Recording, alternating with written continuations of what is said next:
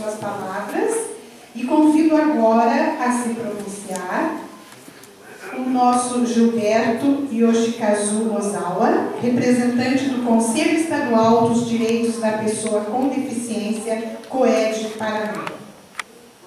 Olá, boa noite a todos. Boa noite à mesa, é, ao público presente.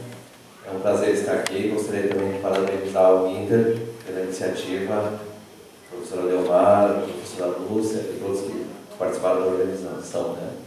Eu estou aqui representando o presidente do COED Paraná, o senhor Pedro Bartendal, e gostaria de dizer para vocês que, para quem não conhece o COED, né, o COED é, é um conselho que luta pelos nossos direitos, né, é, está presente em, em, quase todas as comarcas, né, é, através seus conselhos municipais e representantes. Hoje, a partir de 2016, nós temos representantes das comarcas, né, nas nossas reuniões mensais, que acontecem todas as segundas segundas-feiras de cada mês.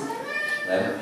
Então, para quem não conhece, o, COED está é, sempre é, é, recebendo informações de tudo que acontece do Estado e sempre está, está disponível né, para que vocês possam enviar para nós né, o, as suas reivindicações, os problemas né, que acontecem com, com, com, os nossos direitos que não são respeitados. Né, é, por exemplo, a, a, questão do passe livre intermunicipal, que nós temos vários problemas né, das pessoas é, em tratamento que têm né, tem esse direito.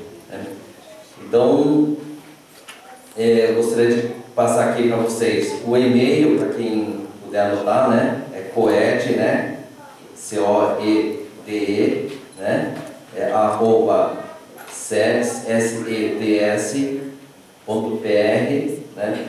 É, .gov.br, ok? Então é o e-mail para vocês poderem é, enviar para nós aí os nossos problemas. Eu, eu sou uma pessoa é, é, com deficiência visual, é, baixa visão, mas estou representando aqui né, todas as nossas deficiências, né, todas as deficiências. Né, é, nós temos conselheiros, né, é, são 24 hoje conselheiros que estão dentro do, do, do COED.